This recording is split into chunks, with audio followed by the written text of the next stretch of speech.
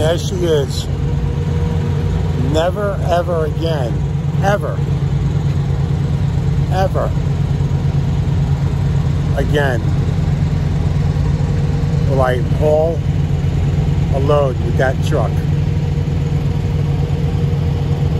So I'm saying goodbye. I said goodbye already to the truck hauling materials, um, food, etc. It's been a really good run. You know, despite the few issues I had in the middle of the lease to sensors, um, she's been really good. I've been very lucky. And being a lease operator or an ace lease, you need a little luck on your side. And that luck is having a truck that's reliable, having a truck that has very, very few breakdowns, um, which at the end of the day, when I look back on the time I've had my truck, it's been exactly that. It's been a reliable truck that served me well. Um, yeah, I'll throw some numbers out there. I haven't calculated the final tally, but I've made over 600 grand with the truck, um, gross to the truck, of course. Last year being obviously the, the incredible year that we all had, or the year 22. And even still with the market being down, I thought it was going to be a little worse than this. And at times, I get sucked up into the negativity because you're listening to it on, on it's everywhere. It's on the internet, it's on Facebook. It's, oh my God, the market sucks, prime this, prime that. No, because now I look back, I just looked over my, uh, my last three months and yeah, I'm not up to par to where I was the prior tax season, but I'm not too far off, folks. So why is it that I'm doing well, my buddy Scott's doing well, and I'm sure there's a host of others out here that works with Prime that are doing phenomenal. All right. You know, and there's also folks out here who seem to be struggling and abandoning trucks and blaming everything blaming everything that's happening in their world on either a company or the market. Yeah, the market's softer, but I tell you what, I'm almost inclined to say that this market is where this market was prior to having that incredible bull run. That's that's uh, that's financial terms for a, a market that's incredible. We've leveled off. I think we hit bottom, and I think you know things will be what they are. You're not going to go like this and then like this. It's not going to. It doesn't work like that.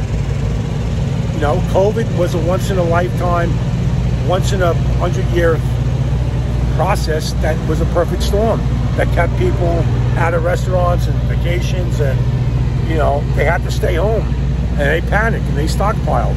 So because they needed so much material, food and stuff, they had no choice, but we had to run like a dog to catch up with the supply. Supply versus demand. Demand versus supply. But I don't understand like why people are failing as a lease operator. You say what you want. Not for everyone. We know that, right? Whatever. We know that everything is not for everyone. That you have to find your niche in life, whatever that may be. For me, it turns out to be trucking. Why? Why did it work? Why does it work for me? A, I love to drive. Absolutely, the most important part of being in the trucking business is loving to drive, no matter what. Day, night, snow, rain, hail, wind. I've been lucky. I've been lucky as far as breakdowns are concerned. I've been lucky as far as weather's concerned, and I've been lucky getting at avoiding accidents. All right, there's been a couple close calls. That's luck. I'll give you that. But the rest of it's all hard work. I don't, when I come here to Prime or to Pittston, my terminal, I don't sit around, folks. You know, FYI, I'm here because of truck. I'm either at a terminal for fixing a trailer that I'm in the process of going through, or I'm here because something broke. I'm not here to say, hey, fleet manager, I need a couple days off. I'm going to go play basketball, or I want to go use a swimming pool. If you don't know what a swimming pool is, it's on level six. Just kidding. I told my fleet manager early on, run me until I put up the, the white flag. Run me, run me, run me. Prime's got the freight. Come on, let's not let's be real. Now, is every load paying you five thousand dollars a load? No. I take loads that suck. I take loads that have mega massive amounts of tolls on it. Everything else under the sun, no different than anyone else is pulling. There's weeks where my my pay is subpar. Perfect example. Two weeks ago, I took home a check after my e-fund and money on the Comdata card. I took a check home for, well, I put money in the bank, $500. But I know if I look at it week to week, it's going to drive me absolutely crazy because the it's inconsistent, right? We're a 1099 employee. We're not W-2 where you get $900 a week. That's it. I like the fact that it's inconsistent because you never know from week to week what you're going to get. To me, it's boring watching, looking at the same number week in and week out. I can't do any better unless something falls out of the sky, like overtime. But I work my ass off, guys. It's 4.30 in the morning right now. I'm just now getting into my truck and going to sleep. I've been up since 4 o'clock this afternoon. I ran 960 miles, and I picked up the load last night. Or, I'm sorry, the night before, 21st. Yeah, we're the 23rd. Yeah, I picked it up the 21st. I ran it from Ohio to Olathe, Kansas. Why? Because I ran 500, I ran 600 the first night, went to sleep, did my 10 hours, and I got up right away, didn't waste any time, and, and went. I, because I also took initiative and called the, the receiver and said, hey, listen, by chance, can I drop off, can I come early and uh, you guys can unload me? And they said, absolutely, come whenever you want. So that's all I needed to hear. I skedaddled. Didn't waste any time, didn't lollygag. Anyway, that's not how I run my business. This is my business. Yes, Prime is the company I'm leased onto. Prime's clients is who I service. I hate to tell you this, guys, but Prime's the amount of loads Prime has is immeasurable. I still, after three and a half years, go to places I've never been before. I just went to a place where I was just talking about. There must have been 25, 30 Prime trailers sitting there. They're everywhere. Prime is everywhere. So you're saying that it's the company's fault or the, the market's fault, it's no. Look, look.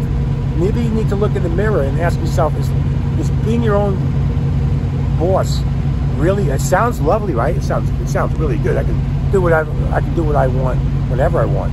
Yeah, true. But then you're not gonna make any money. I work my ass off. I don't go home every four weeks.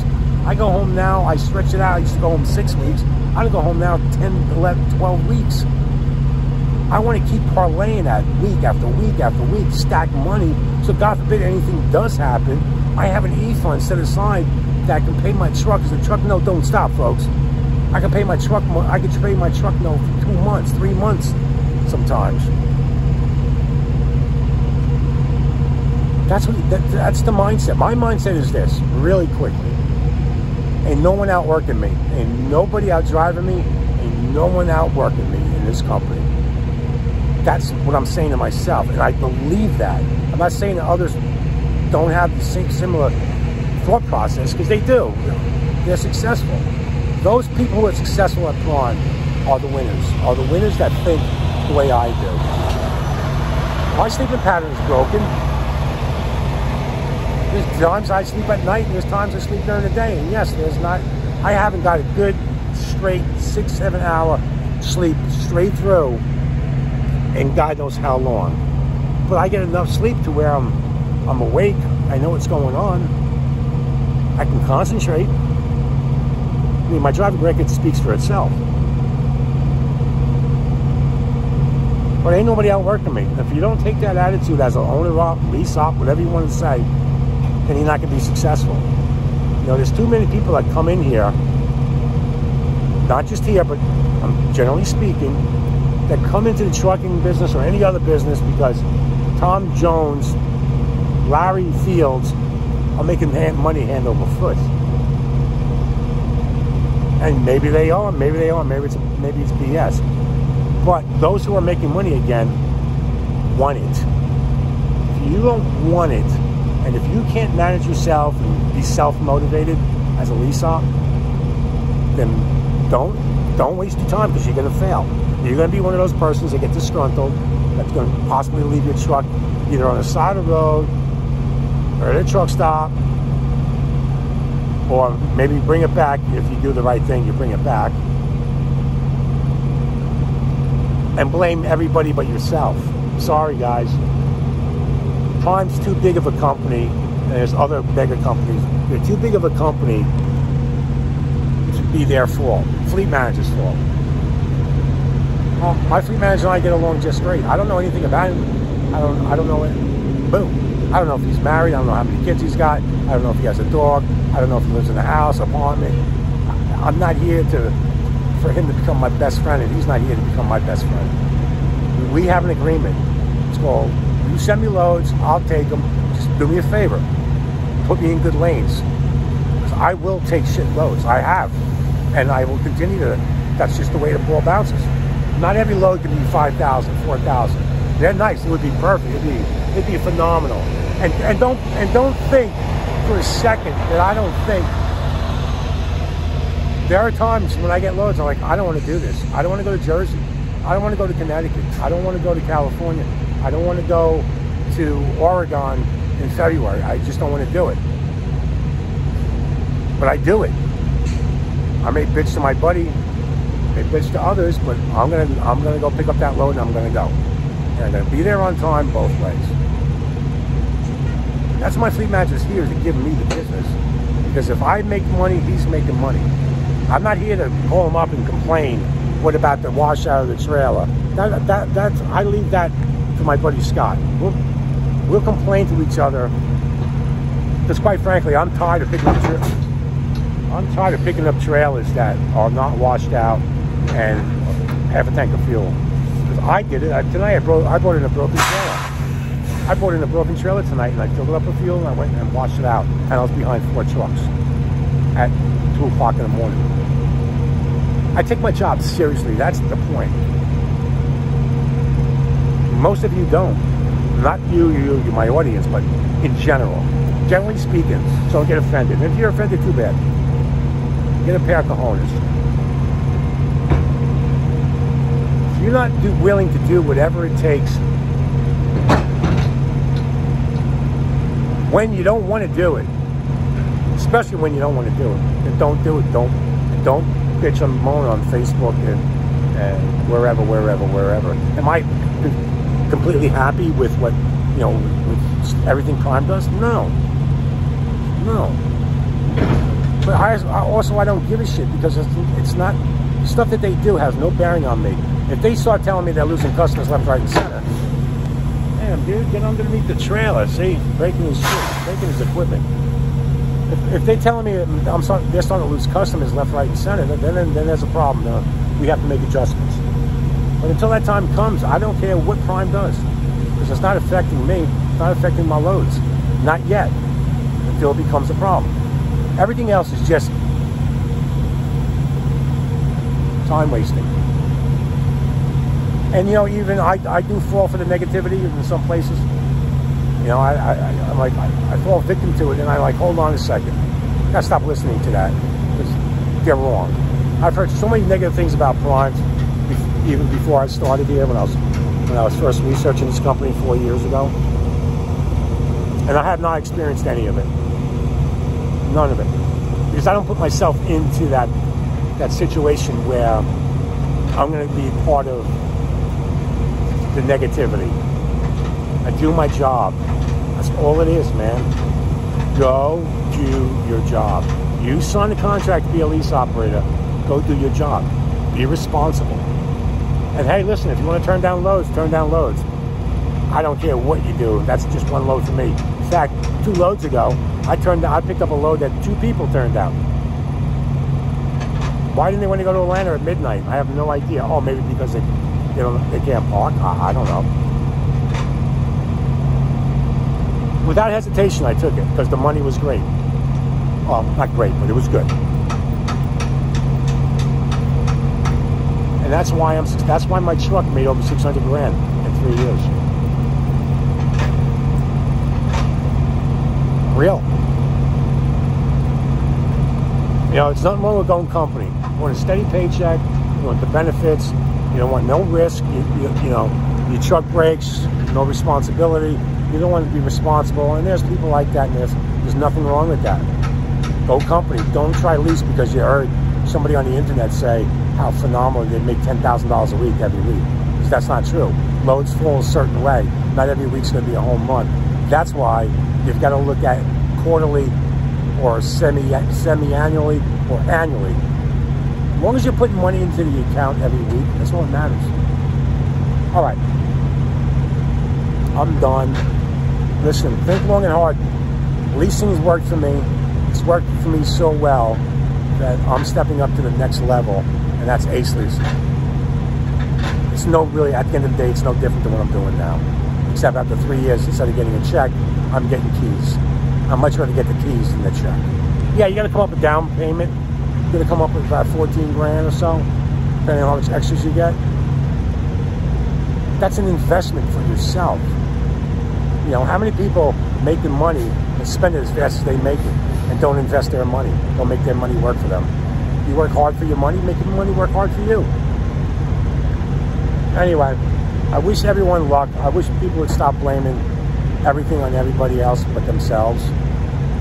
And then, you know, they're never wrong, they're always right. Come on, man. Take ownership. Until I started doing that, I was making excuses and blaming every, finger pointing to everyone too. Once you take responsibility for your actions, believe it or not, your life starts changing. Big H is out. Um, what I'm going to do is I'm going to do a series of videos showing you the process because I don't know what the exact process is surrendering the truck. It's probably really easy, but again, it's one thing about Prime I must say that I don't like is that there's no instructions on how to. You've got to figure that out all for yourself. So I don't know if uh, I've got to leave it, fuel, half a tank, quarter tank, it doesn't matter. The depth, you know, I, I don't know any of that stuff. So those are all things that I think are important information. You know, I just found out late, you know, before, no one told me, not even Success Leasing. It's got to go to the deal, detail shop first before you surrender your keys up at Whip Bay 47. These are all things that, you know, Success Leasing should be, truly be on top of. It's your truck. I borrowed your truck for three years. Can you at least give me, give us kind of an order, a pecking order of what you wanted us to do? So, with that being said, at the end of the day, I couldn't ask for a better company. Sounds like I'm hypocritical, but no, it's true. I mean, their, their resources are endless. Biggest refrigerated company in the world, in America, not the world. And I'm, you know, I'm still making good money. So I don't know what other people are saying. And, if you're willing to work hard, I mean hard, folks. Again, last time I'm going to say this. If you're not willing to do whatever it takes, run the mornings, run afternoon, run the nights, go into snow, go into hail, go climb the mountains, stop making excuses, that's burning fuel, breaking my truck. They're all baseless BS. Not willing to do any of that. Hey, don't become a trucker, and B, certainly don't lease. Peace out. Good luck, everyone.